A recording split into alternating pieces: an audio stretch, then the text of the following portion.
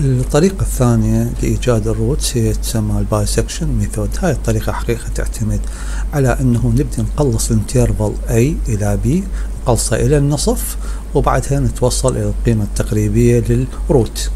لاحظ هنا عندنا مثل هذا ال interval A إلى B موجود به ال root الحقيقي XR أول شغلة نسويها أنه نأخذ نقطة الوسط أو نوجد ال average إليه اللي هي ال D D تساوي A زائد B على 2 هسه الآن كيفية كيف نقلص ال interval أو تقسيمه إلى منطقتين؟ لاحظ ال interval الأول A إلى D أو D إلى B. يتم اختيار طبعا ال interval يعتمد يعني هسه نظريا هنا هو ال interval الصحيح. هو A إلى D لكن هذا هو algorithm يعني يعطى له حاسب لازم حاسبة هي تختار. هل تختار A A و D ال interval لو تختار D B هنا قلنا ال root دائما يكون موجود. لازم ال function تتغير من زائد للناقص أو من الناقص إلى الزائد. اذا بالضبط ال algorithm إيش راح يسوي؟ يوجد ال F A وال F D وال F B أي اثنين إشارتهن مختلفة هو هذا ال interval الجديد. لاحظ هنا بهذا الرسم اختيار ال interval هو A D حاليا. بالرسم الثاني ال interval الصحيح المفروض نختاره D B لاحظ الاختلاف؟ ال D هنا F D زائد ال F B ناقص. أه ونستمر بهاي العملية. نبدي نقلص ال interval إلى النصف نحسبها خمس مرات ست مرات إلى أن نوصل أنه نوجد ال F D تكون قريبة إلى الصفر.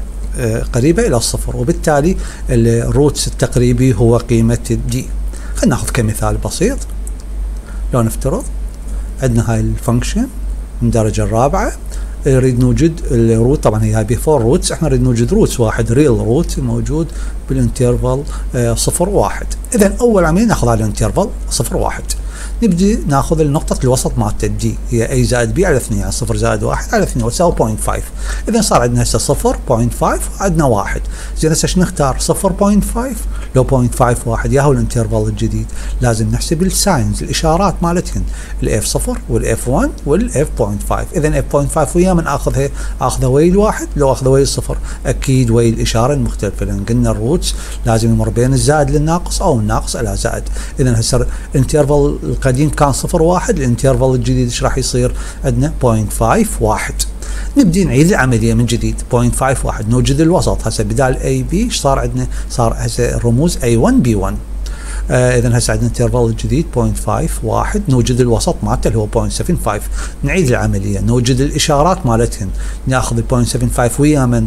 ناخذه ويا ال 0.5 لو ويا الواحد. نشوف الإشارات المختلفة. اذا ناخذه ال 0.75 مع الواحد. ونستمر العملية تعاد إلى ان خمس مرات ست مرات. بالأخير interval الجديد اللي هو السادس بهذه الصورة. نوجد الآخر D ال average مالته اللي هو D 6 طلع لنا 0.867 حقيقة هو هاي القيمة مال قيمة ال D هي تمثل ال approximated roots ولو نحسب ال F مالتها نلقاها 0.00146 الحالة المثالية لل roots الأصلي المفروض يكون هذا صفر.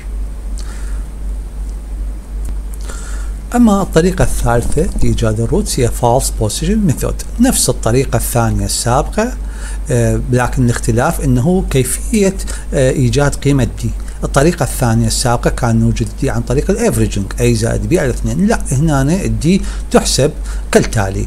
آه بدل ما نوجد ال averaging A زائد B على اثنين لا. وإنما هو عبارة عن قيمة ال D هي قيمة تقاطع ال line الواصل بين A و B وتقاطع مع الاكس اكسس لاحظوا هنا شلون؟ هاي قيمة ال A هنا قيمة ال B ال line يتقاطع ويا الاكس اكسس هاي هي قيمة D أو بهذا النوع يعني بهذا الشكل. وإذا كان الشكل الثاني لاحظ أيضا قيمة A و B تقاطعة مع ال X axis D أو ممكن تحسبها بالمعادلة التالية. بهذه الصورة هاي حساب ال D هنا الحقيقة هاي الطريقة تكون أسرع.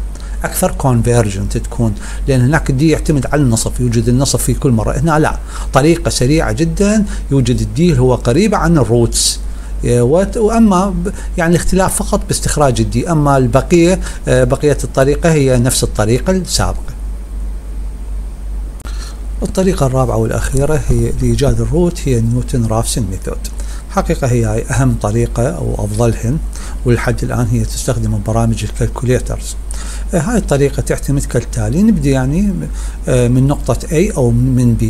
نحسب ال slope الها هذا ال slope راح يتقاطع ويا الاكس اكسس فمن عندنا أول ما نبدي ب x صفر راح آه نوصل إلى x 1 نفس الحال نعيد العملية من x 1 نحسب ال slope يتقاطع مع الاكس اكسس نحصل عليه x 2 وهكذا إلى أن نوصل إلى حد ال roots أو حسب هذا القانون.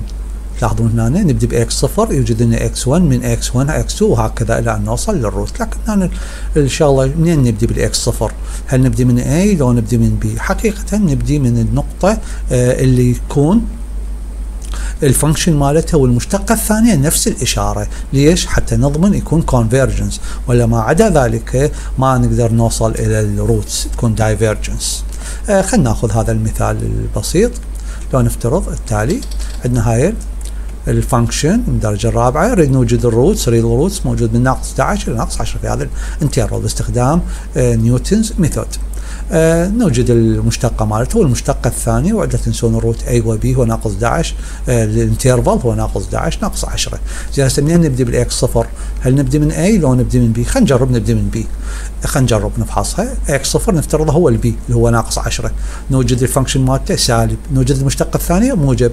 اذا هذا خارج الشرط هذا divergence وليس وليس conver اذا ما نختار x صفر هو ال B خلينا نجرب نبدي ناخذ ال x صفر هو ال A اللي هو ناقص 11 نشوف ال function مالته ال f ال f ناقص 11 هي positive المشتقة الثانية إلى أيضا بوزيتيف اذا نفس الإشارة.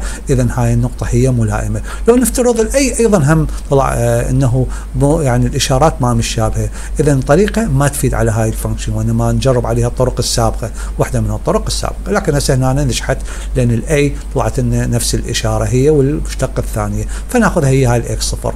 نستخدم القانون الموجود نبدأ ب x صفر اللي هو ناقص 11 نعوضه. بهذا الطرف الأيمن يطلع لنا إكس 1 إذا إكس صفر ناقص 11 وهكذا بالضبط هذا مناسبه إحنا راح نحله أربع خمس مرات لكن هو بالحاسبة هذا مجرد هو for loop تخليه هنا ويستمر 100 ألف هو loop عادي بالحاسبة. x صفر ناقص 11 يعطينا x 1 هذا الرقم لاحظ.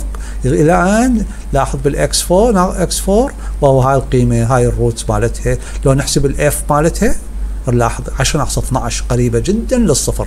فلذلك طريقة نيوتن هي أفضل الطرق وأسرعهن يعني convergence أحد تطبيقات النيوتن method هي إيجاد ال square root أو إيجاد الجذر التربيعي وهي نفس وهي طريقة ثابتة أيضا تستخدم بال calculator لاستخراج الجذر التربيعي. آه طريقة كالتالي إحنا نريد نوجد جذر A هذا هو المطلوب. اذا حول معادلة اذا هي x كأنه احتاج x فحولها إلى function ف x تربيع ناقص A يساوي صفر. كأنه عندي هاي ال function هاي ال function إذا أوجد ال roots ما الها كأنه وجدت x وبالتالي كأنه أنا وجدت الجذر التربيعي لل A إذا أستخدم النيوتن method الها اوجد هاي ال f وهاي مشتقتها عوضها بالقانون مال Newton's. الآن بعد التبسيط نوصل إلى هذا القانون. x n زائد واحد يساوي كذا هذا على اثنين. هذا هو إيجاد الجذر التربيعي لكن بعدة iteration كمثال بسيط كمثال بسيط ناخذ نفترض نريد نوجد الجذر خمسة. جذر خمسة ونبدي من آه نقطة بداية x صفر يساوي اثنين. إذا ما عندك بداية بنقطة بداية ما تعطى x صفر بداية فأخذ هاي تقريبا أقرب عدد صحيح للرقم نصفه. يعني خمسة قسمها على اثنين اثنين ونص أخذ أقرب تقريب رقم آه عدد صحيح وهو اثنين. ابدي منه. أو يعطى بالسؤال مباشرة. على العموم هسه راح نطبق هذا القانون. نبدي ب x صفر يساوي اثنين وال A عندنا هي خمسة. نعوضها ال A خمسة وال x صفر اثنين بنفس القانون نيوتن ونجي هسه نحسب هذا x صفر. راح نحسب x 1 من عندي يطلع 2.25 مرة ثانية نطبقه ونوجد إكس 3 إكس 4 ونتوقف. تقريبا اذا هذا الرقم هو هذا يمثل الجذر التربيعي آه للخمسة. ولو نطبقه حتى نشوف بالحاسبة ال calculators نشوف مثلا جذر خمسة نطلع جذر خمسة عندنا مثلا هذا خمسة ونشوف جذر خمسة شوف قد القيمة مالته تقريبا تطلع لنا بالضبط. لاحظ القيمة مالته 2.236 كذا مثل بالضبط مثل ما بس بصورة أدق لأنه يستخدم لوب 100 200 وهكذا.